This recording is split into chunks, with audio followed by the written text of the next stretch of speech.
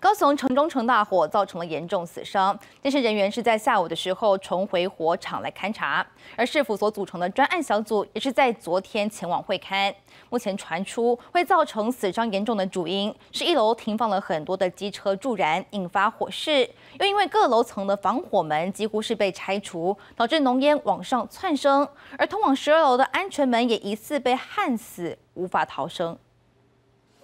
建设人员来到城中城大楼，奉检察官指示，再次检视疑似起火的一楼环境，不回答任何问题。为厘清责任归属，市府组成行政调查小组，十八号连同警大教授、高科大教授等人回到火场勘查，传出通往十二楼的安全门遭焊死，无法进出，也疑似找到灾害的主因，是一楼停放五十几辆机车，形成火灾时的助燃物，以及大楼内部的防火门被拆除，无法有效防灾。但参与的两位学者。都不愿证实。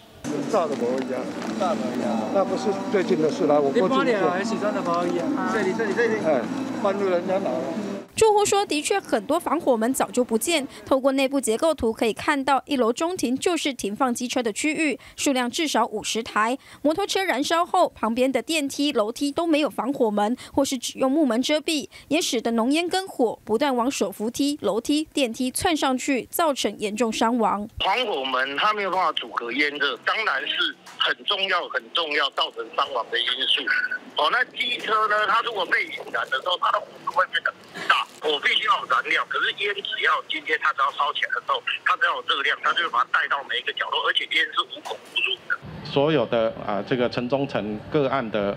这个行政调查都在进行当中，我一定会给啊社会一个很清楚、完整的一个交代。城中城火灾死者不少人因浓烟呛死，防火门被拆是不是主因？是否还要调查？但怕憾事重演。十九号老旧武管委会大楼体检第二天，也持续拆除阻挡逃生的障碍物，也在这个礼拜启动，包括全市共二十二栋屋龄二十年到三十年的老旧建筑体检。记者王婷、孟昭全高雄报道。